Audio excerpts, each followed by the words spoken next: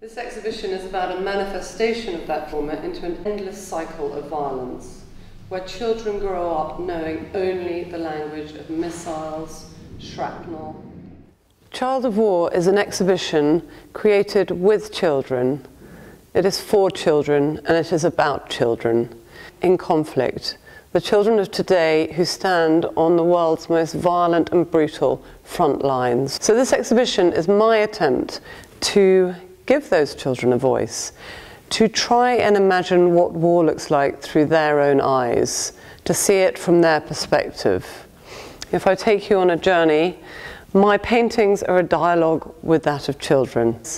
I have collated a whole hundreds of images sent to me by children, artworks and words that express what they have been through, from Ukraine largely, but also from Syria, from Afghanistan, from Britain. Each one requires engagement and the imagination to perhaps go to where that child has been. This is my painting that is a direct response to the artworks of the children.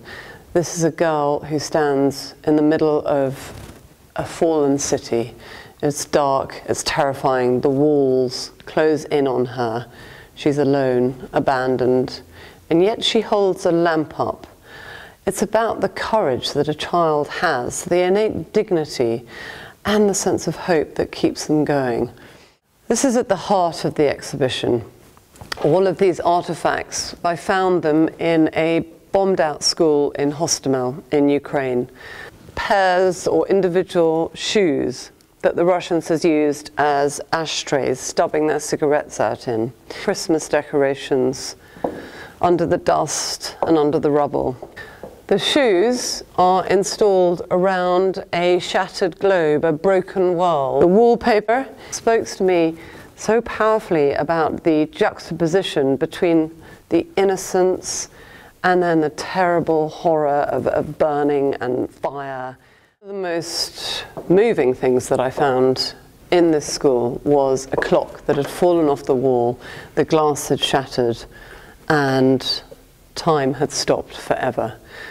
This painting is one of the hardest paintings that I've found to execute because it quotes the letter of a nine year old girl to her dead mother.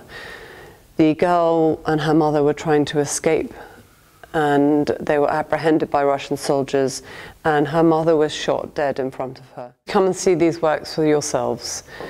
They are incredibly powerful. I won't say that of my own work, but I would say that of the children's and the artifacts from the school. There's a visceral quality that I really hope will talk to your heart. One of the things I've learned in those years is that the nature of warfare has changed so that the casualties are predominantly civilian, not military, and among the people most at risk are the most innocent. are The children of the world have never been more vulnerable, and this is why I welcome an exhibition like this, although it's actually unique, which bears witness to the plight of children in warfare.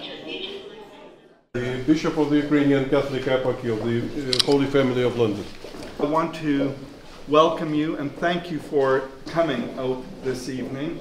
Um, you'll be able to tell all of your friends about this exhibit, which is going to be uh, ongoing until uh, at least June 6th, open from 10 till 5 p.m. every evening. I really want to express my appreciation to um, Arabella, our artist, uh, who has curated and painted these things uh, with the help of uh, Namina, uh, Edna from Beyond Conflict, who has been a great partner of us and not a stranger to our cathedral or our community at all. And also, we're very glad to welcome uh, Christina Lambo as uh, our dear friend Martin Bell. We're here today because we're seeing a normalization of the targeting of children in wars around the world. We're seeing it in Gaza, Ukraine, we've seen it in Sri Lanka, Iraq, many more places.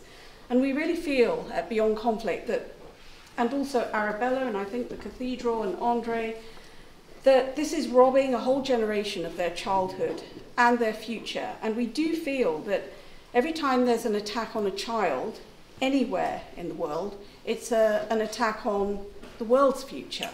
Kids growing up who've only ever known war, leading to mental health issues and trauma. Uh, the UN says one in five children living in war zones has some kind of mental health issues, such as PTSD, anxiety, depression, schizophrenia, bipolar disorder.